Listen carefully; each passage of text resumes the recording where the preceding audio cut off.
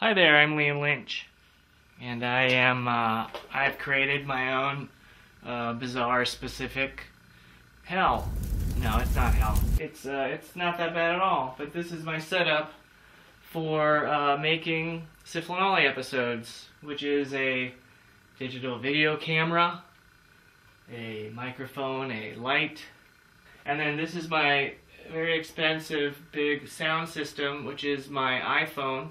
So Syphilin starts here in my home recording studio where everything is done audio first. So I have to build the shows like a radio show first. So first it starts with um, writing scripts.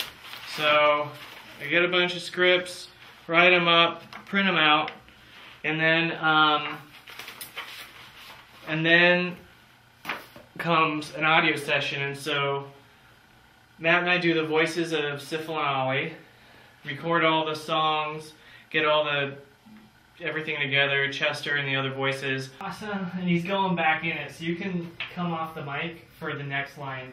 Okay. I care, I care, I love it back here. I love it back here. It's, it's cool. It's, okay, ready? So here we go.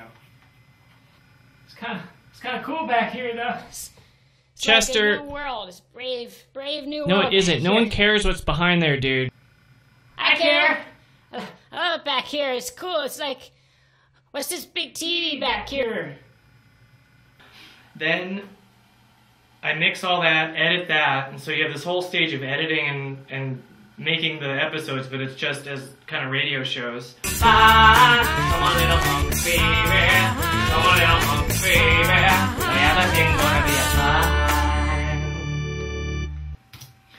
the way I do it. It's sheer, incredible acts of um, talent, which I learned in third grade acting like, well, jackass. And then comes the puppeting part. Cozy, so the lady that brought you into Hi, folks.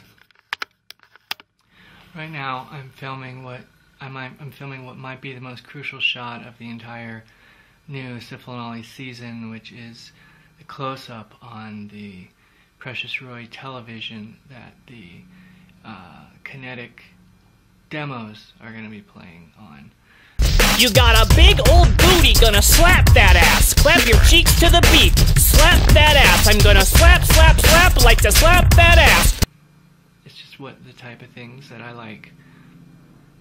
This is a puppet from Sifl and Olly show, who uh, is like a teenage angst dude that um, that would call in. I think he was a caller a couple times. He's been in actually been in a, a bunch of skits, but I always like this puppet, so this is one that I kept. And uh, because he's got a kick-ass skull shirt, are you kidding me? Here I have the puppet to uh, feed the sharks or feed the shark. I have a chroma key glove, so I can key my arm out, um, and then I can put on this, and then I took uh, green chroma key tape and I put it around a hanger that I stuck in the tail, and I basically went like this.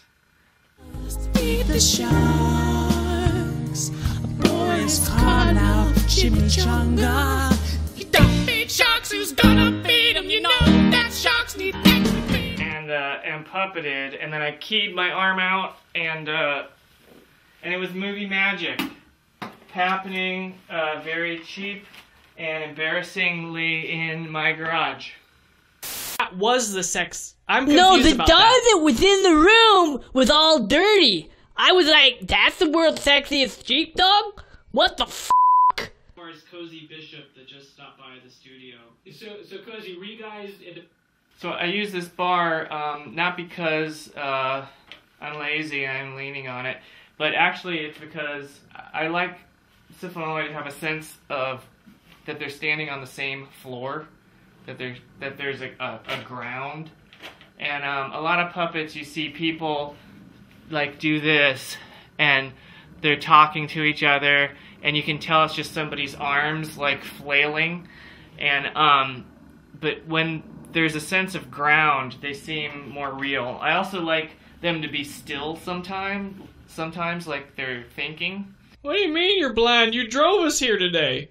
Yeah, that's why I turn the uh, car stereo up so loud when I'm driving, so I can see the road.